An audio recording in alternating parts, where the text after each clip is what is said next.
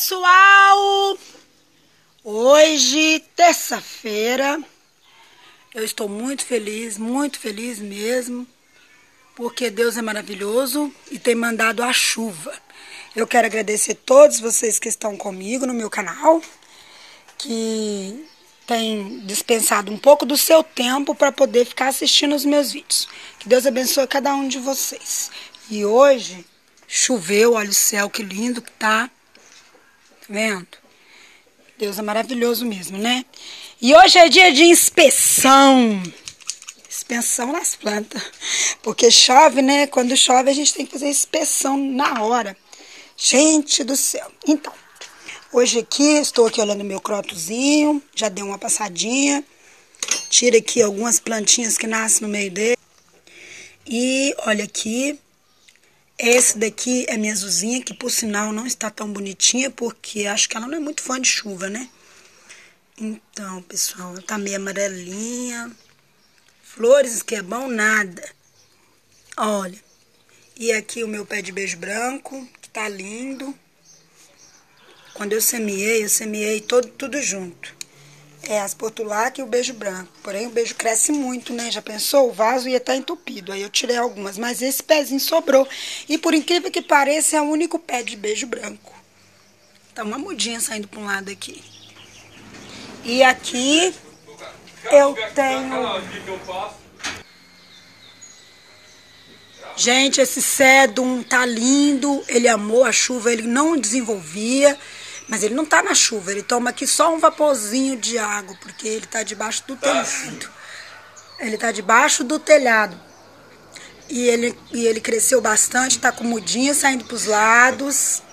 Olha, para todos os lados tem mudinha. E ele resolveu deslanchar. Tá aqui, enfim, né?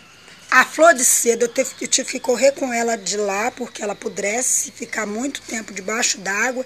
Porque por mais que o vaso tenha dreno, é, ainda o excesso de água ela não aguenta e ela apodrece. Então eu corri com ela, pus ela aqui na, na madeira da minha varanda. O meu mini jardim, corri com ele também de lá e coloquei aqui em cima da minha mureta ainda, que não tá nem pronta. Aqui, pessoal, mostrei para vocês ele muito mal, né? No dia eu tava com pressa. Mas olha, tem um, uma, um jacarezinho aqui no meio, quer ver? Uma lagartixinha. Que eu coloquei de enfeite, olha. Não sei se dá para pegar. Olha aí, pessoal. Uma selvazinha. então. Esse vasinho foi o que fiz. Ele tá amarrado aqui porque meus gatos pulam aqui na mesa para se alimentarem. E aqui, tá vendo? E se eu não amarrar, eles derrubam e quebram, né? Então, o croton retorcido, eu acabei de tirar as folhas dele. Aqui, olha, tira as folhas velhas. Aqui atrás nasceu um, um pé de acerola. Espera ele acabar de crescer e tira ele daqui. O problema é que ele juntou lá embaixo a raiz e deve ter emendado com outra. Aqui estão minhas rosinhas, como eu falei com vocês. A questão dos brotos ladrões, eu tenho que fazer uma limpa nelas. Agora, é, essa planta que cresceu demais e ela tá alimentando os bulbos, né? Pra ver se flore ano que vem, porque esse ano já era. Amarilis. É Amarilis que é triste. Eu nunca lembro o nome dele. Gente, eu não consigo lembrar. Eu tenho que botar uma placa, mas como o vaso dele é um coxo, aí eu não consegui pôr uma placa. Mas ele é muito grande. Ele tem 60 centímetros de vaso. Não dá pra mostrar. Aqui também tem uma flor de, de Natal aqui, que ela, essa daqui não deu flor, não. Já deu logo a folha. Eu já mostrei ela, tá grande. A chuva tá tudo caído por causa da chuva. Aqui tem rosa, rosinha rosa misturada. E aqui, pessoal, meu outro mini jardim que eu tirei lá de cima, correndo e pus aqui para ele poder não molhar com a chuva. Mesmo assim, olha, todo cheio de água, ó. Que a chuva de vento, né? Isso aí. Nesse caixote, pessoal, eu tenho um pé de tomate que cresceu aqui.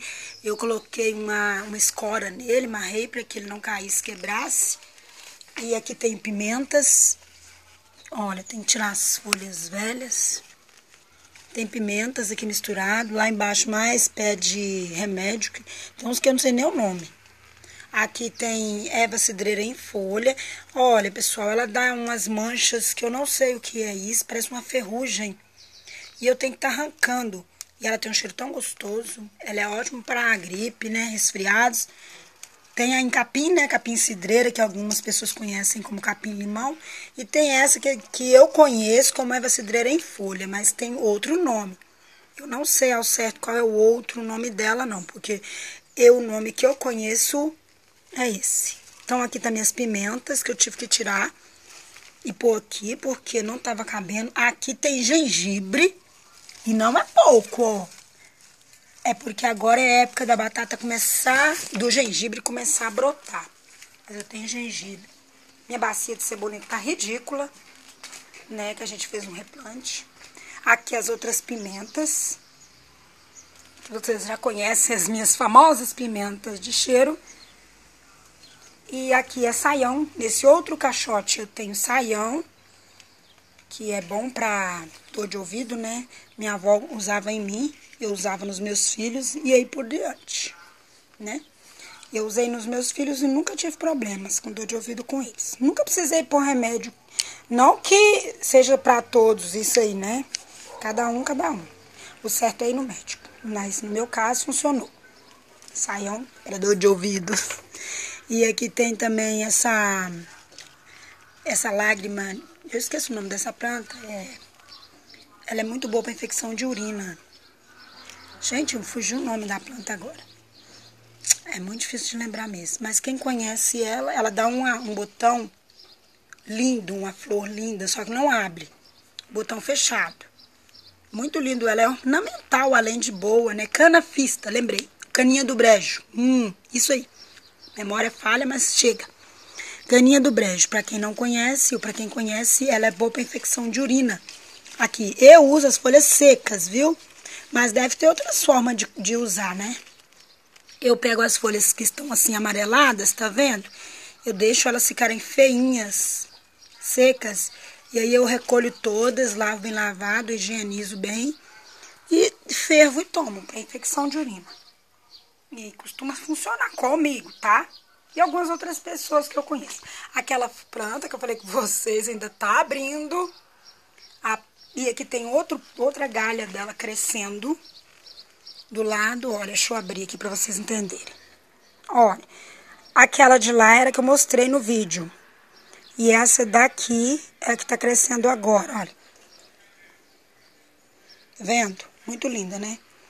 Aqui minha rosa, que eu mostrei no último vídeo, botãozinho, que tá grande, que os pulgões amam.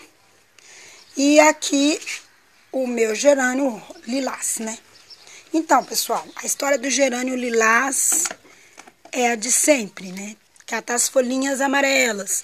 É muito difícil às vezes a gente ver, porque esse aqui tem uma folha muito grande, olha. Então ele esconde as folhas amarelas, mas elas estão aqui, viu? Olha. Uhum. Olha lá de baixo. E se você não tirar as folhas amarelas, além de ficar feio, né? Atrasa também, porque elas ficam sugando energia. Alguém pode falar que é bobagem, mas funciona, viu? Você vai tirando as amarelas, porque o tempo que o gerânio está dispensando, gastando energia para essa folha, eu digo essa folha, tá vendo? Quanta essa energia que ele ainda desperdiçaria nela, ele poderia estar gerando energia para um cachinho de flor. Entenderam como funciona o negócio? Mas a natureza é sábia. Deus fez tudo perfeito, funcionando perfeitamente. Isso é coisa que inventaram, mas funciona, tá? Então tá. E aqui eu já mostrei para vocês.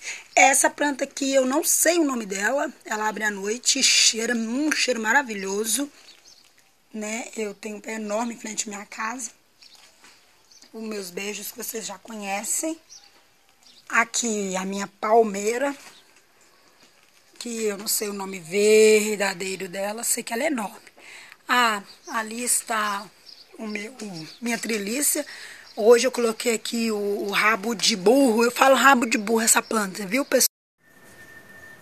Pessoal, essa crássula é muito esplendorosa. Essa é uma crássula Espansa francilis. Eu não sabia o nome dela, mas essa aqui eu tenho ela na sombra e no sol. Eu tenho esse mini vaso, ele é bem pequenininho. Olha, eu vou pôr minha mão por baixo para vocês verem. Ele cabe na palma da minha mão. Mas ele está lotado de flores e botões. Que olhem para vocês verem. Vou tentar pôr aqui de toda forma para ver se vocês conseguem Lotado de botões e florzinhas. E a outra minha tá na sombra, não quase não tem flor. Ela no sol, ela desbota muito, ela desbota, porém ela desponta muitas flores, muitas flores mesmo. É uma coisa magnífica, crássula, viu, gente? Ela é muito pequenininha e delicadinha, olha. É uma forração pendente, viu, gente? É óbvio, né? Gente, que coisa maravilhosa, olha.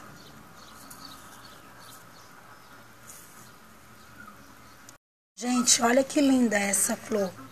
Parece uma amarilias, porém ela é menor, né? Ela é bem pequenininha, olha. Eu ia mostrar outra pra vocês, mas ela secou, né? Olha. Mas aí nasceu essa linda. Eu vi o nome dela, mas eu não consegui guardar. Se eu conseguir, eu posto pra vocês o nome. Mas no momento eu não sei. O capim dela é fininho, olha para quem tem dúvidas, às vezes você tem dela e nem sabe, né? Ela também só nasce na primavera. Eu não sei se ela dá durante o ano, mas eu acredito que não. Mas na primavera e no verão, né, óbvio, aí ela é época dela florescer. Linda, né? Olha outra coisa, minha rosa. Tá linda, não tá?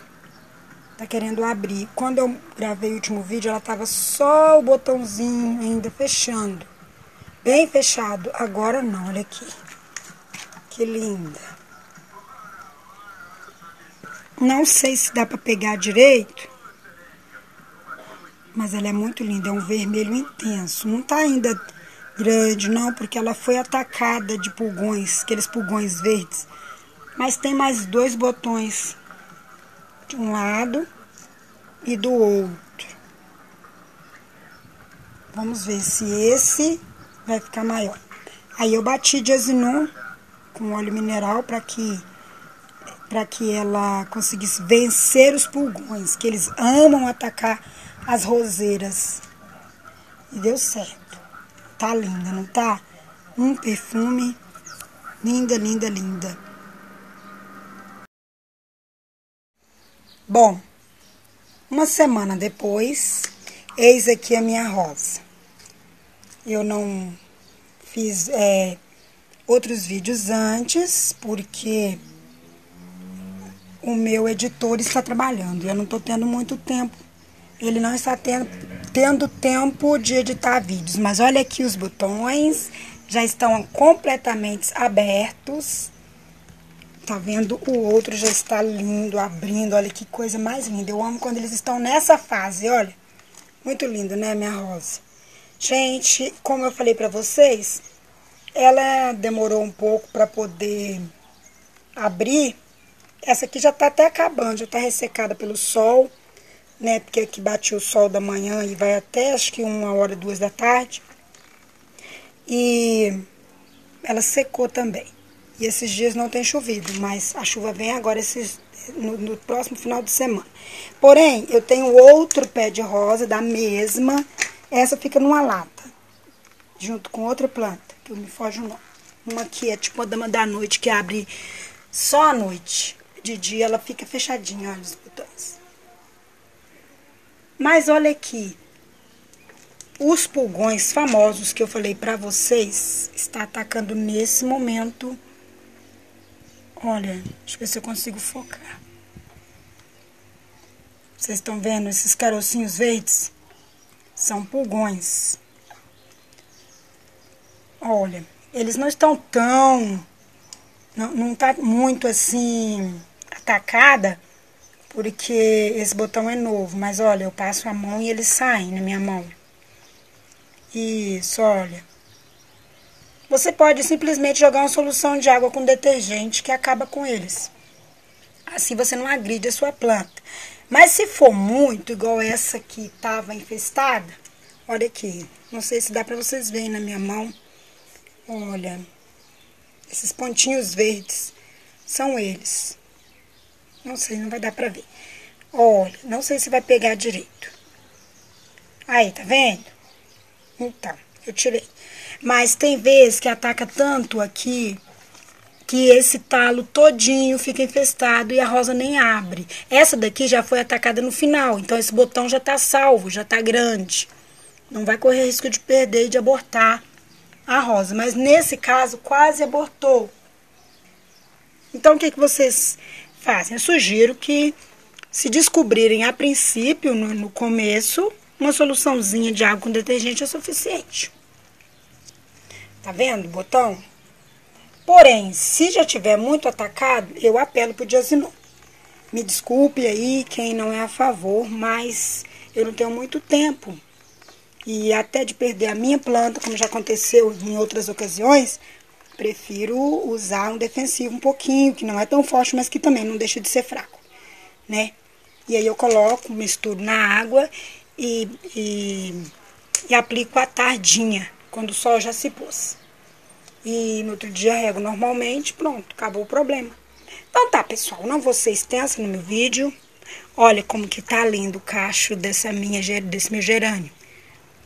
Tá muito lindo. A porta da sala, vocês têm que ver como que tá coberto de flores. Olha que maravilha. Eu não canso de mostrar pra vocês, né, meus gerânios. Mas eu amo eles, estão lindos mesmo. E olha esse cacho de flor. Tá lindo, né? E vai mais pra abrir aí. Então tá, pessoal. É isso. Vocês que gostaram, curtam, compartilhem. Deixe o seu joinha. Tem gente que olha. Deixe o seu joinha aqui na porta da sala, o gerânio. Que eu falei pra vocês. Tá lindo, não tá? Olha, todo florido. Isso porque o vaso tá virado. Olha, que visão linda. E hoje nem tem tanto. Aqui vai abrir mais. Semana passada que eu não filmei, tinha mais. E olha, tem mais pra abrir, olha aqui. Olha, mais, muito mais, olha. E tem mais pra procurar. É isso. Essa rosinha aqui tá linda também. Então tá, gente. Fiquem com Deus. Beijo pra todo mundo. Ótimo final de semana. Deus abençoe todos vocês. Deixem aquele like, tá? Tchau!